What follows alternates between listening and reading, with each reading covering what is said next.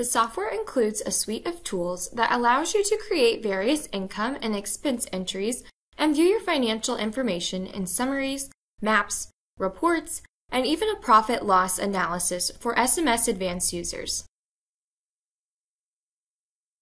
In this tutorial, you will learn about the different types of financial entries you can create, how to properly input your income and expenses, as well as how to view that information in maps and reports. To begin adding financial entries in the software, click on the Financial Entries icon in the main toolbar, or go to File, New, and Financial Entries. The Financial Entries dialog will now open. There are seven types of entries available. The first step to adding any financial entry is to use the Selected Year drop-down menu to select the year you wish to work in. After selecting the year, the dialog will update. The number displayed in parentheses indicates the number of existing financial entries for the selected year. With product purchases selected, the dialog will display each product that was applied or harvested.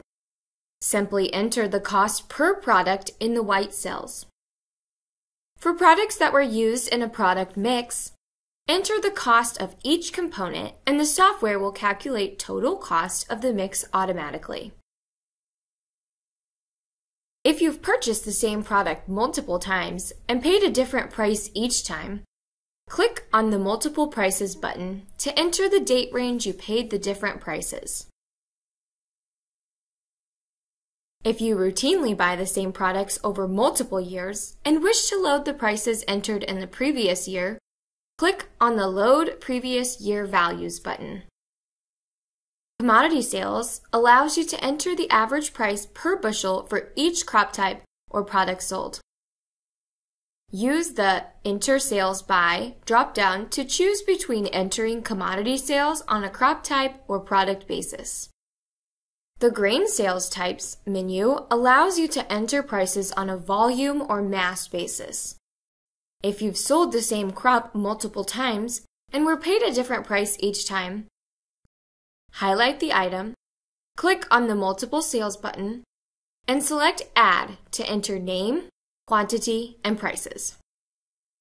SMS will use the weighted average prices for all sales as the price used in the financial tracking dialog. Operational expense and income allows you to enter a cost or income on a per acre, per count, or per distance basis. These values are commonly used when paying a per acre fee for things such as custom harvest, per account fees associated with soil sampling, and per distance entries for tile installation. Field level expenses and income allows you to input fees or revenue for a single field or for multiple fields.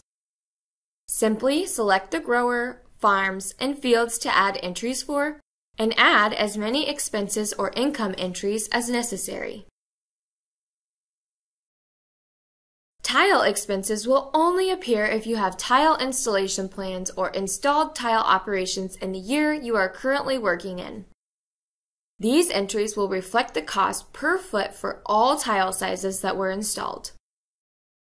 Financial entries can be viewed in summaries, maps, the dedicated financial tracking report, and for our SMS advanced users in the profit loss analysis tool.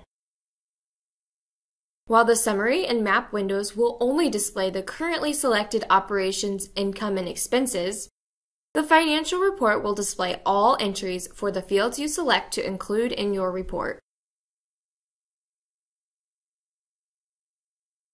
You have now learned how to enter financial entries into the software and view that information in summaries, maps, and reports.